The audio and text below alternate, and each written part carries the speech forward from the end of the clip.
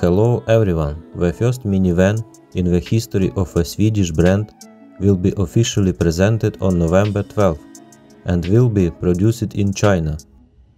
The luxury minivan promises to be very spacious inside and richly equipped.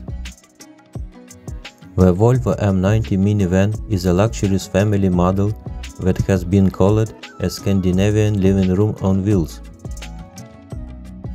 The new Volvo EM90 is built on the SEA electric platform and its closest relative will be Swedish Chinese Zeekr 009. Thank you very much for watching. Subscribe to my channel.